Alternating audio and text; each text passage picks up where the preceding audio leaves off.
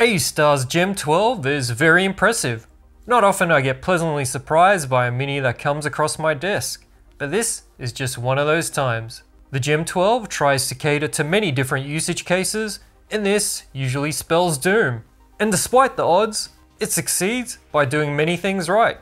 There's a lot to go over, and we'll get into it right after this message. EaseUS Todo Backup Home is an award-winning backup solution to keep your data safe. Backup, clone, upgrade, or transfer your system easily, and protect it from ransomware. Todo Backup Home even supports backing up to the cloud. Trial it for free with a link in the video description. AOOSTAR's Gem 12 may target those wanting to use an external graphics enclosure with their mini PC, but it would be a mistake to ignore it if that doesn't interest you one bit as it's a really good performing mini PC in its own right. The design is pretty slick. It definitely has some Intel NUC influence and looks the part. The outer shell is metal with plastic top and bottom covers. It's solid all around and I'm happy with its build quality.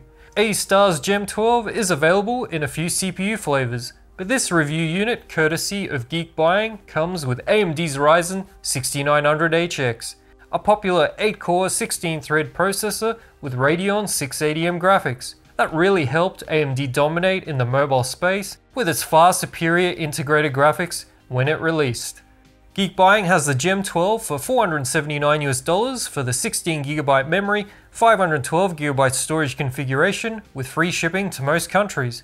But they've provided me with a coupon bringing it down to 459 which will be linked in the video description double your memory and storage for an extra 100 US dollars.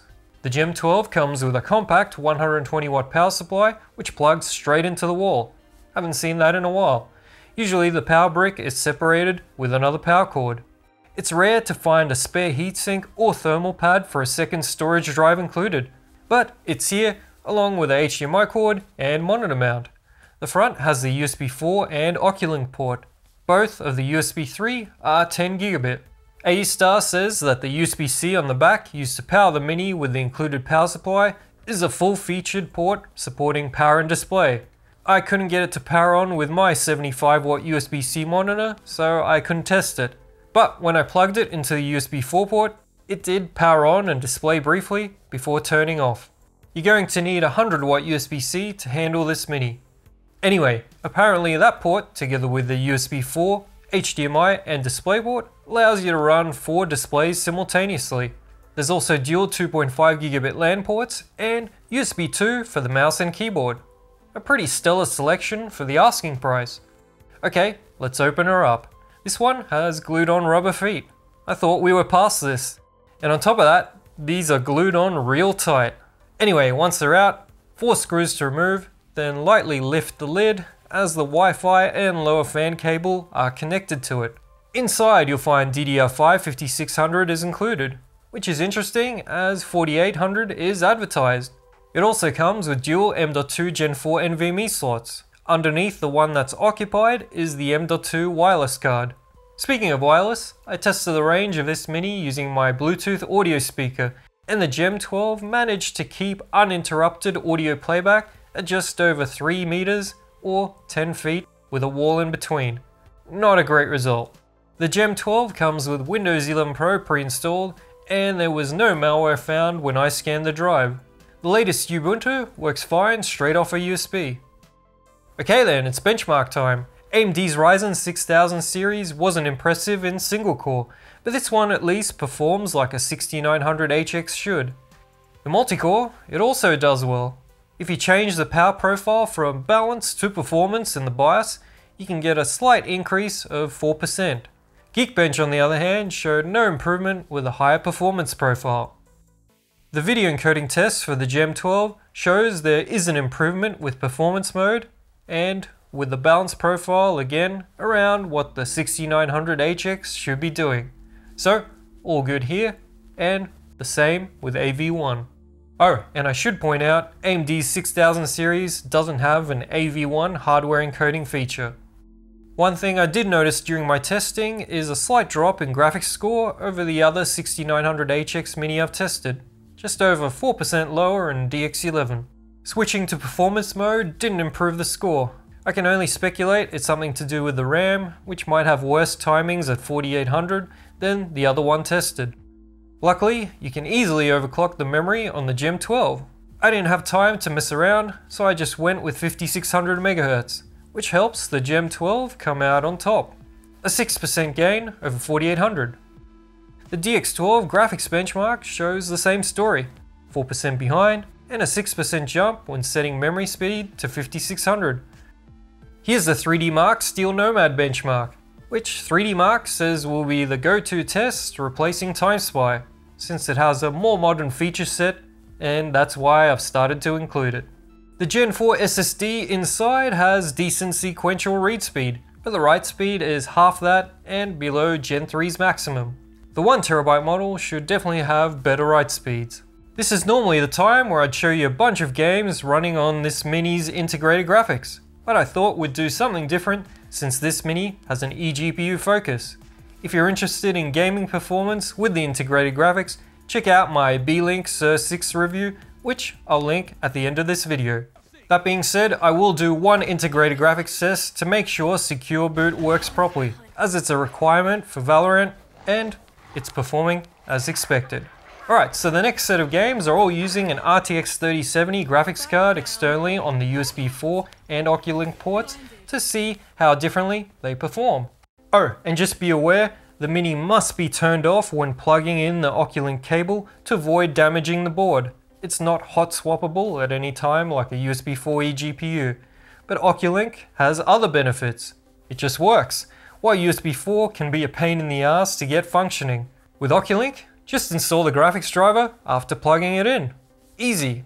But the biggest win is that Oculink has higher bandwidth than USB 4, 64 gigabits per second compared to 40, so you're going to see better performance. How much? I'll do a side-by-side -side comparison shortly. So you may be wondering, what am I using for Oculink? Well, I bought the OCuP4V2 off AliExpress, which comes with everything you need to get started. The only thing you need to do is assemble it by screwing it together and add a graphics card and power supply to make your Oculink eGPU. You can find my affiliate link to the OCuP4V2 in the video description. It works great. Okay, so let's get to it. The RTX 3070 Oculink versus USB 4. Fight! And it's not much of a fight really, more of a straight knockout.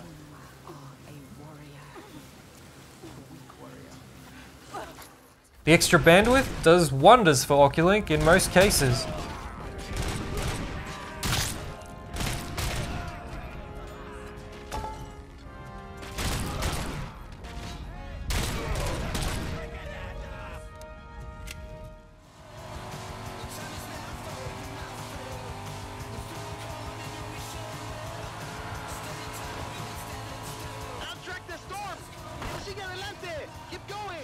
GTA 5 had the smallest improvement, but the frame rate was much smoother with less drops than USB 4.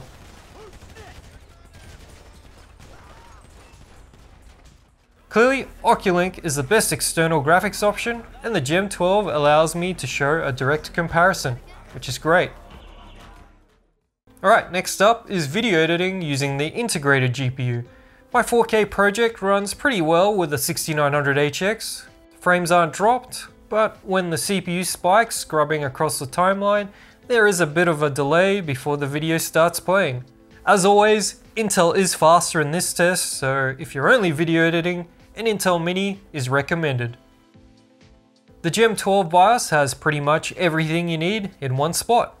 Go to Advanced, and then Power Configuration to find the most common requested features. You can tweak things further in the AMD CBS options and the memory can be overclocked there as well.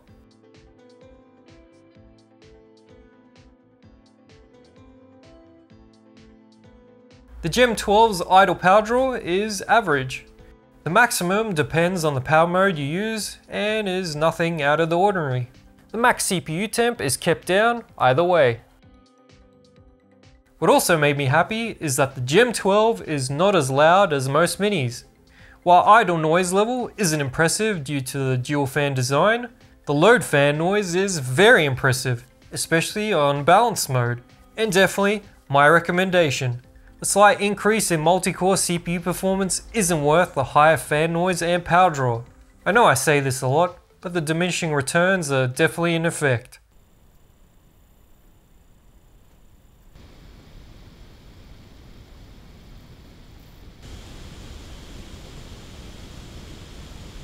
Having a fan and heatsink for the storage does wonders, and the SSD stays cool, no problem. Alright, so let's wrap this up. The AOOSTAR Gem 12 has an Oculink port and a great set of ports in general. Fan noise is impressively low under load using balance mode. The BIOS allows for memory overclocking. There are two Gen 4 NVMe drives which are unaffected by the Oculink port. It's just a really well designed mini PC by Tianbei and gets most things right. Although the glued on rubber feet do suck for opening it, and wireless range is unimpressive. When I started testing the AOOSTAR Gem 12, I thought maybe at best it would just cater to those wanting a mini with an Oculink port. But I came away impressed that this mini PC is a good choice for any usage case. And so, it's one of the rare times I'm going to give a recommendation. Well done Tianbei on the design of the Gem 12.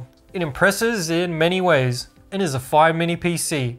If you're interested, affiliate links are down in the video description and really help to keep this channel going. Oh, and as mentioned before, if you wanted to check out the integrated graphics performance of the 6900HX, you can find that video linked in the top right corner. Cheers!